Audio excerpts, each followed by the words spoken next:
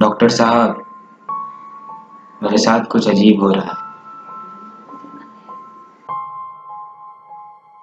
कुछ दिनों पहले जब मैं अपने क्लिनिक से घर को लौट रहा था, काफ़ी रात हो गई थी। लगभग पौने एक हाँ पौने एक। तो रास्ते में दूर खड़ा एक आदमी मुझे यूँ यूँ हाथ दिखला रहा था। मुझे लगा कि हो सकता है कोई कोई मुसीबत में हो। तो मैंने अपनी गाड़ी रोक दी। एक्चुअली में इस बंदे को लिफ्ट चाहिए थी। और जो पता उसने बताया था, वो ठीक मेरे घर के पास ही था।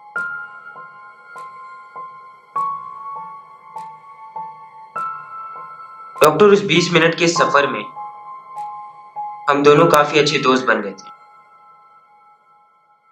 फिर अगले दिन मेरे क्लिनिक आया। और इसी तरह वो कहीं ना कहीं मिल ही जाया करता था। हम लोग घंटों बात ही। करते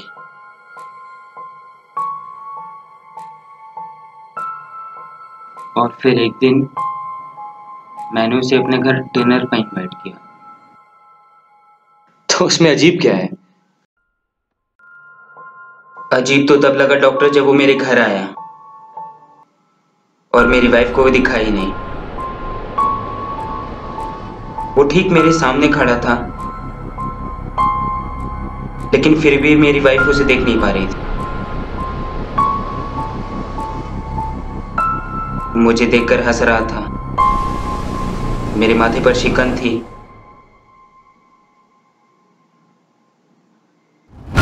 और मेरी वाइफ के चेहरे पर डर। हम्म।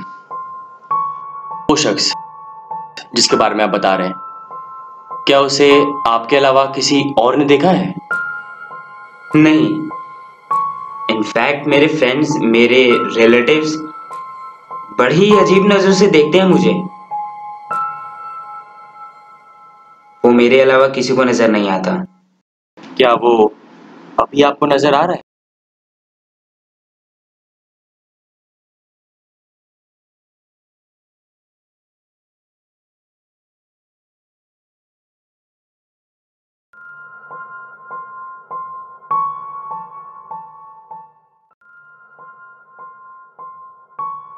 हम्म।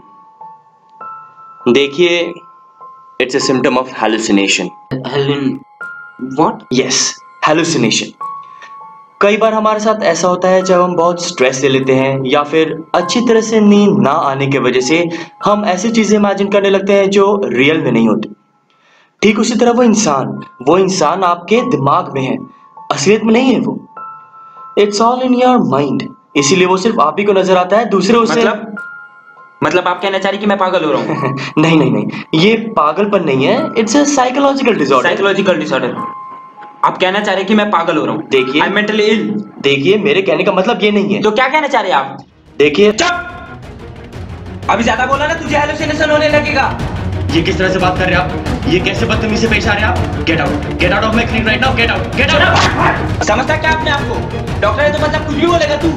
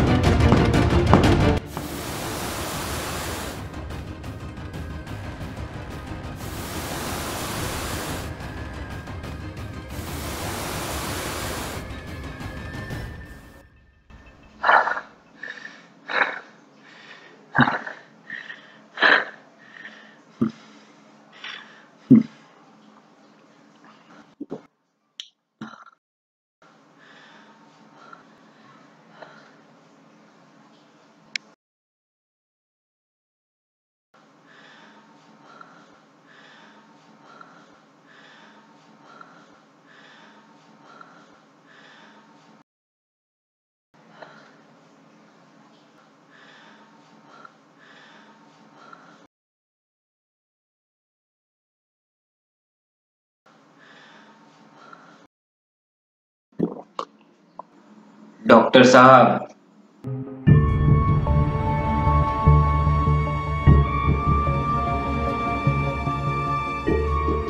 मेरे साथ कुछ अजीब हो रहा है।